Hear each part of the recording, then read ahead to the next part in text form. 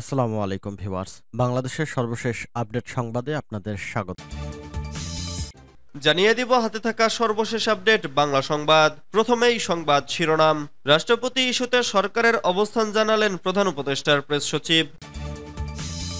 এরপর জানিয়ে দিব, উপকূলে ধেয়ে আসছে ডানা দুই নম্বর সতর্ক সংকেত। এদিকে, রাষ্ট্রপতি ইস্যুতে প্রশ্ন এড়িয়ে গেলেন আইন উপদেষ্টা।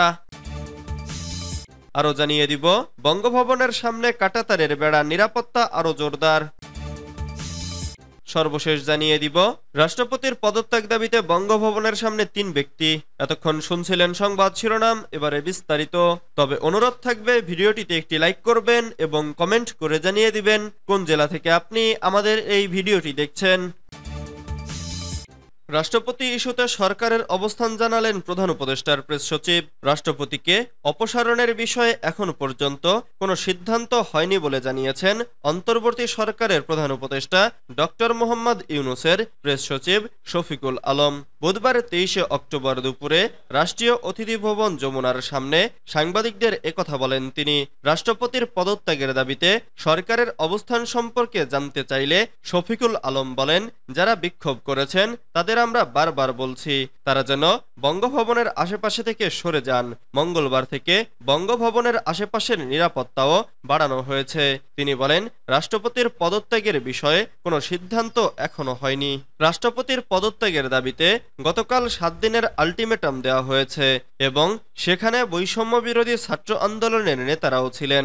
এ প্রসঙ্গে সরকারের অবস্থান জানতে চাইলে শফিকুল আরও বলেন, যারা এই আলটিমেটাম দিচ্ছে, তাদের এ প্রশ্ন জিজ্ঞেস করুন।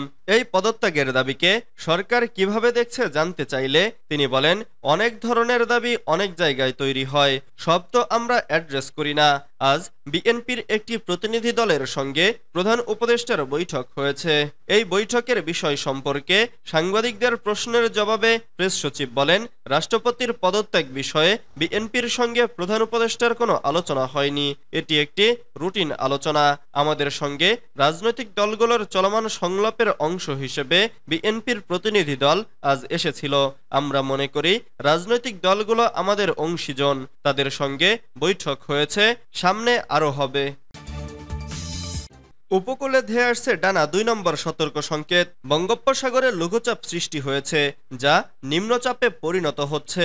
নিম্নচাপটি ক্রমান্বয়ে শক্তিশালী হয়ে পশ্চিম উত্তর পশ্চিম দিকে অগ্রসর ও ঘনীভূত হয়ে ঘূর্ণিঝড় ডানায় পরিণত হয়েছে।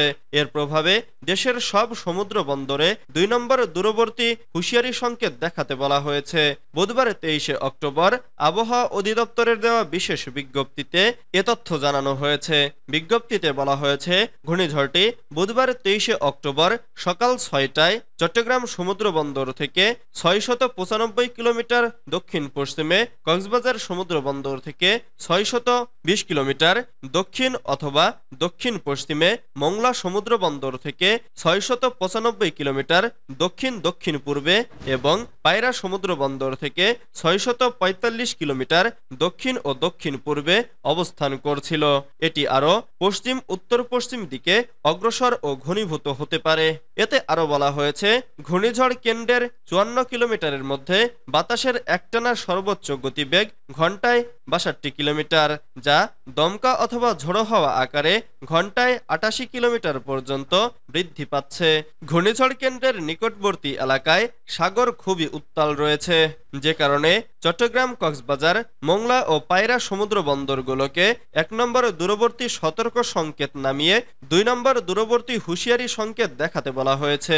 উত্তর বঙ্গোপসাগর ও গভীর সাগরে অবস্থানরত সব মাছ ধরার নৌকা ও ট্রলারকে পরবর্তী নির্দেশ না দেয়া পর্যন্ত উপকূলের কাছাকাছি থেকে সাবধানে চলাফেরা করতে বলা হয়েছে, যেন স্বল্প সময়ের নোটিশে নিরাপদ আশ্রয়ে যেতে পারে।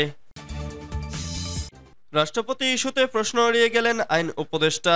রাষ্ট্রপতি মোহাম্মদ শাহাবুদ্দিনের পদত্যাগের দাবিতে বিক্ষোভ করেছেন বৈষম্য বিরোধী ছাত্র আন্দোলনের নেতাকর্মীরা। এর মধ্যে প্রধান বিচারপতি সৈয়দ রেফাদ আহমেদের সঙ্গে গতকাল মঙ্গলবার রুদ্ধদ্বার বৈঠক করেছেন অন্তর্বর্তীকালীন সরকারের আইন উপদেষ্টা ডক্টর আসিফ নজরুল ও তথ্য উপদেষ্টা নাহিদ ইসলাম।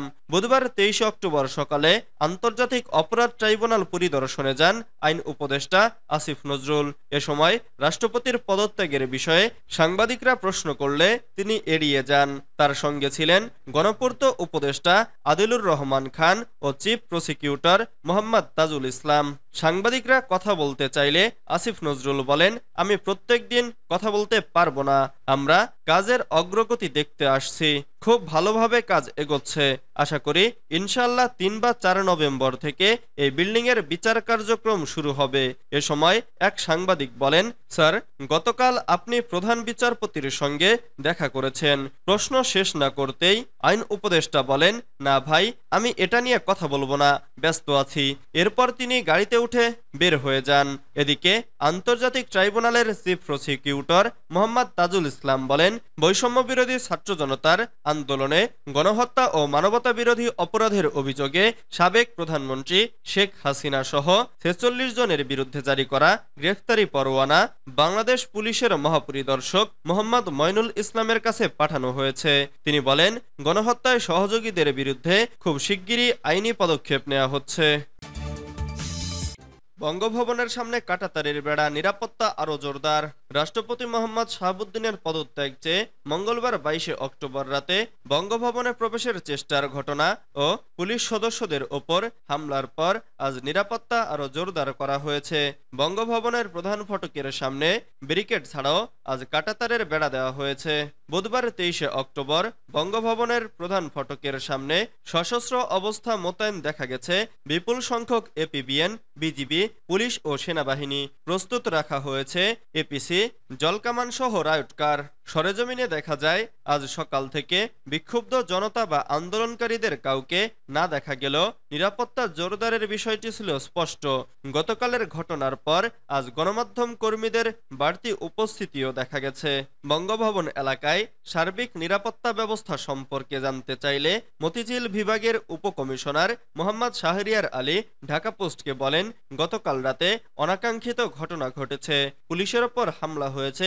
বেশ কয়েকজন পুলিশ সদস্য আহত হয়েছেন এক শিক্ষার্থী সহ দুজন গুলিবিদ্ধ হয়েছেন, আহত হয়েছেন তিনজন। রাষ্ট্রপতির পদত্যাগের দাবিতে বঙ্গভবনের সামনে তিন ব্যক্তি। রাষ্ট্রপতি মোহাম্মদ শাহাবুদ্দিনের পদত্যাগের দাবিতে বঙ্গভবনের সামনের সড়কে অবস্থান করছেন তিন ব্যক্তি।